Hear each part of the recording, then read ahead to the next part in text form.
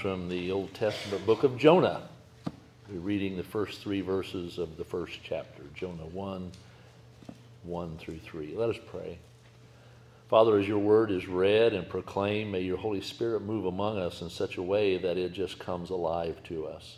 So we thank you for what you're about to do, and we pray this in Jesus' name. Amen. So the word of the Lord came to Jonah, son of Amittai. Go to the great city of Nineveh and preach against it, because its wickedness has come up before me. But Jonah ran away from the Lord and headed for Tarshish. He went down to Joppa, where he found a ship bound for that port, and after paying the fare, he went aboard and sailed for Tarshish to flee from the Lord. This is the word of God for the people of God. Thanks be to God. We, we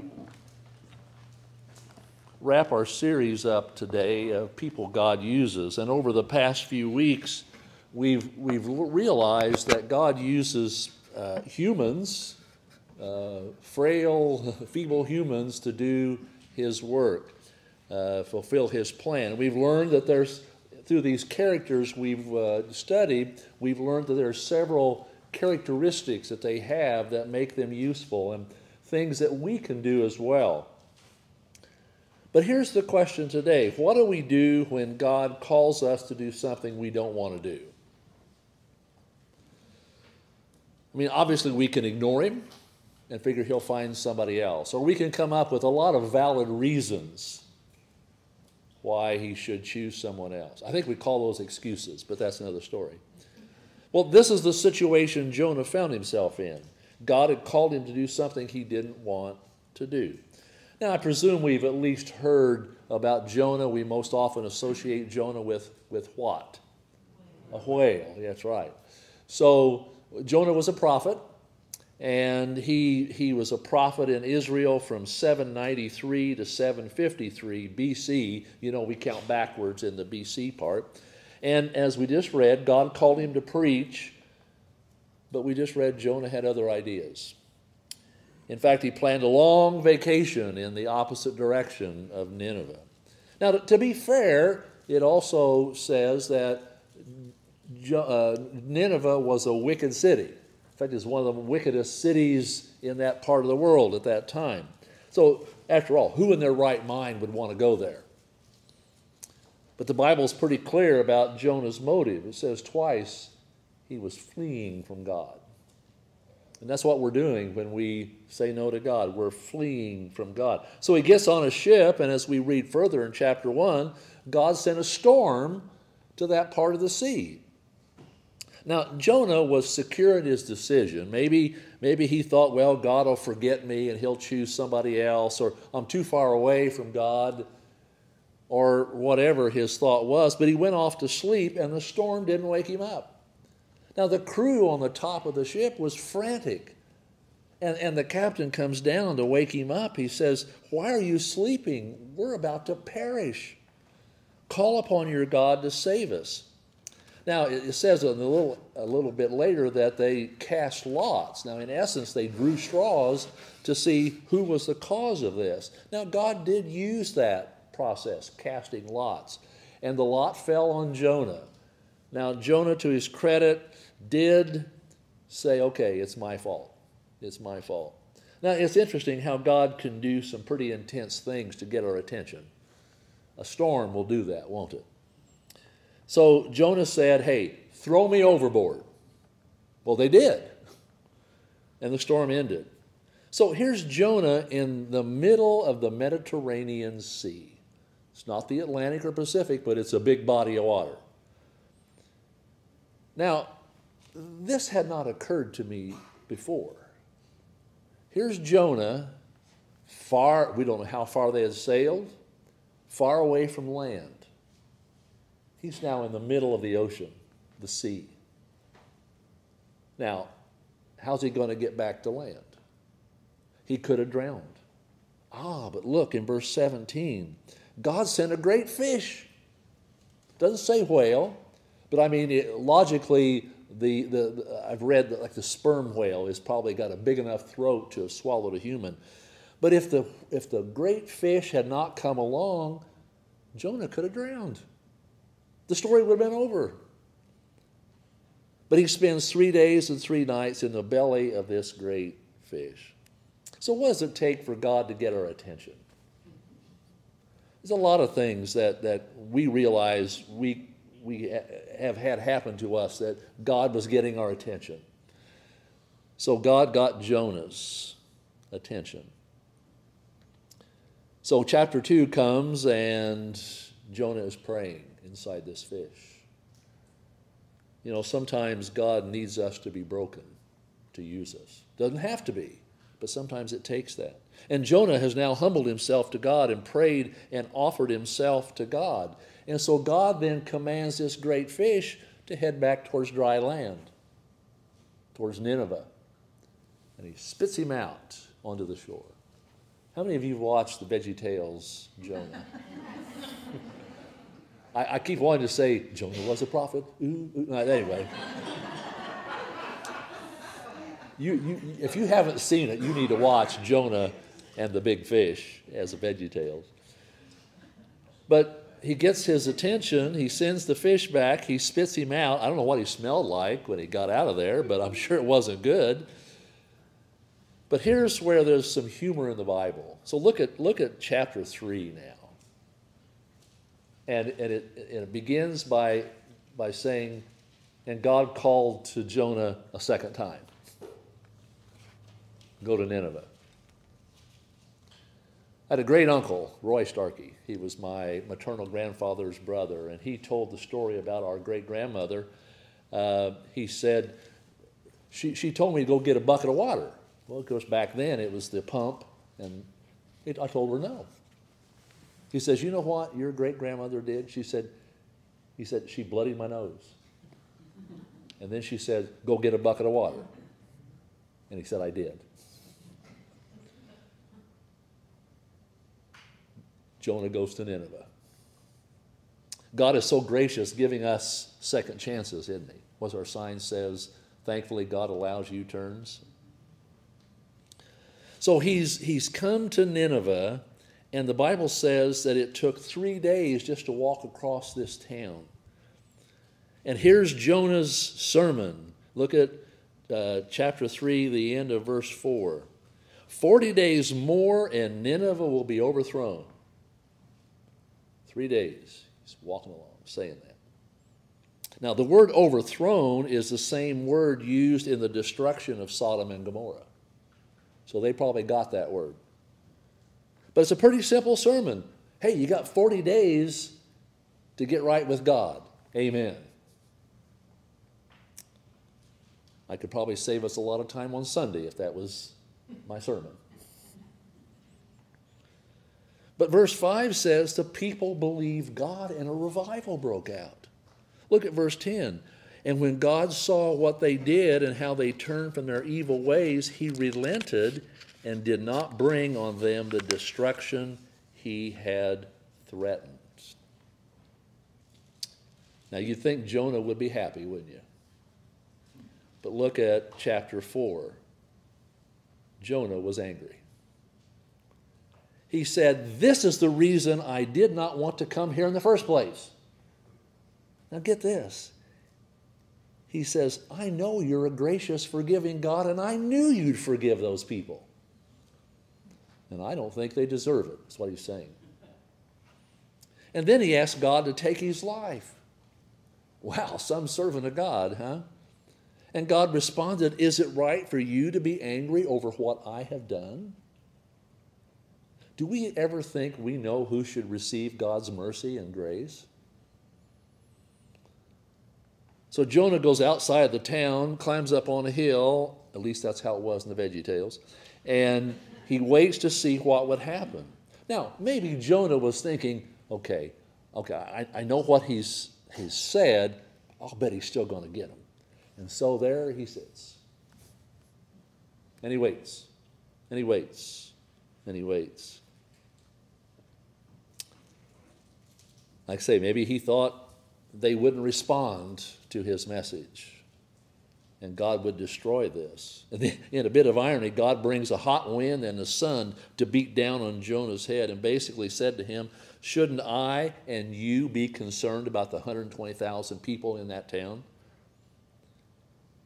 And that's where the story ends. Just like that, boom, the story of Jonah ends. You know, the Bible does that in several places. It stops. You think, don't you ever watch a movie or hear a story and think, how did it end? How did it end? But I think the Bible ends because then we need to put ourselves in the story. How might we have handled this? And maybe in the life of Jonah, we see what not to do.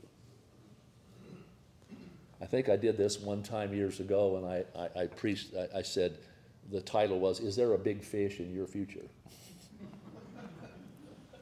so, as we close this series, uh, there are some truths that I want us to, to look at this morning about being a person God uses. First, God is always at work around us.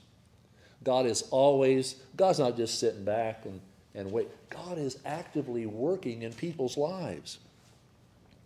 And, and from this narrative, we learn, I believe, God was at work in Nineveh because of the way they responded so quickly.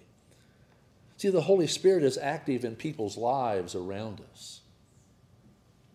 We might be surprised at who God is working at here in the town of Pimento, at your workplace, in your family. Next, God invites us to become involved with Him in His work. See, He was seeking to revive the people of Nineveh, and He invited Jonah to be part of that. So God spoke to Jonah just as He speaks to us in various ways to reveal what He's already doing. God was at work in Nineveh, and He says, Jonah, I need you to go there to work with me in that. He gets our attention in various ways to waken us up about what's going on around us. And he does that through the Holy Spirit, putting impressions on us, uh, the Bible or circumstances, the church, to reveal what he is up to. And he, he calls us to be obedient and attentive. So, what is God inviting us to do here in his part of our world? Remember our mission. This is the mission statement of the United Methodist Church. The mission of a church is to make disciples, followers of Jesus Christ for the transformation of the world. This is what we are about. We're called to make disciples. Now, that, that ranges anywhere from somebody becoming a Christian to those of us in here to become more faithful followers of Jesus Christ. God's activity will always be about people. Hear that. God's activity is always about people and helping them take their next step towards Jesus. Now, we might think he's calling us to finish this building addition. But actually, he's calling us to finish this building addition so that it can be used by people to experience the love and grace of God through his church here. Next, God's invitation will always lead to a crisis of belief that requires faith and action. I think we see that in the life of Jonah. He was confronted and he had a decision to make, and he made the wrong one. He made it a whole lot more problematic for himself. But here's the thing what we do next reveals what we believe about God. How we respond shows our belief. So, what did Jonah believe about God? Well, he, he kind of says he knew he was gracious and he was merciful, but he had an incorrect view of who Jonah thought should receive that grace. He didn't think the people of Nineveh deserved to be saved from destruction. Regardless of what we say we believe, what we do reveals what we believe. Sometimes God uses those invitations to reveal our deeper nature and what needs to be worked on. God is always calling us to be more like Jesus. And often, well, not often, it's always in conflict with our human nature. So there's a crisis of faith that comes about. Jonah got on a boat and headed in the opposite direction. Next, we must make major adjustments in our lives to join God in what He is doing. And like we said, I think it was last week we said what God calls us to is God sized God sized, big jobs that only God can help us be successful in. And it requires adjustments because we're going to be doing something we've never done before, or, or we're going to be dealing with uh, our status quo. Hey, it's just as comfortable to sit back on a Wednesday night or a Sunday morning or whenever God calls us to do something and let somebody else do it. Sacrifice will be involved from our status quo. God's invitation caused Jonah to make major adjustments, didn't it? And see, this is often the reason we don't want to obey God, is because our status quo, our comfort zone is threatened. True faith will require action. True faith requires responding to God's invitation with a yes. You know, in the book of James, it talks about faith and actions. It often sounds like it's good works, working our way to heaven. No, James just says faith without action is dead faith. I can say what I believe, but unless I'm pressed into action, then it, it, it could be empty, hollow faith. So when we accept God's invitation, we experience Him through our obedience, and God accomplishes His work through us. So as we allow God to use us, we experience Him in even greater and greater ways. It prepares us then for the next time He calls us. It, it, it prepares us when we're going through trials. We lean on God. And as we experience God, our faith in Him grows. As, as I said earlier, our mission is always about people. It's never programs, it's never buildings, it's always about people, helping them take their next step towards Jesus Christ. And I say, from accepting Him as Savior to becoming a, a more faithful disciple. Disciple. We must be willing to be willing to be used. But here's the key to truly experience God, we must have a relationship with Jesus Christ. To fully embrace that. See, only through Jesus can we have this correct view of God. Jonah had an incorrect view because he knew God was gracious, but he thought he was gracious just to the people of Israel. He didn't think those people of Nineveh deserved love, mercy, grace. So here's the key point of this book. We think it's about Jonah. It's not about Jonah. It's about God's love and compassion extended even to the most vile. It's always about God. You know, we've been talking about people these last few weeks, but it's always been about God and what He can do. It's His desire to reach out to everyone, to see them repent, to see them believe, to accept His love made real through Jesus Christ. So, by contrast with Jonah, God the Father sent Jesus the Son to earth to reach out to us. Jesus had no reservations. Jesus never went in the opposite direction. Jesus calls us to repent and become members of the kingdom of God. See, only when we see Jesus doing what he did for us, when we see what he did, we can really have our hearts changed. Only when we see Jesus doing what he did for us can we have the faith, courage, and obedience to say, as our last song is going to ask, and say, I'll go where you want me to go, only because of Jesus. Let's pray. Father, thank you for reminding us how, how loving and gracious you are. And you want to use us. And, and yes, you even use us when we turn you down but you keep calling. So help us to be more obedient, to listen for you as you send us and ask us to be your hands and feet here on earth. We pray this in Jesus' name. Amen.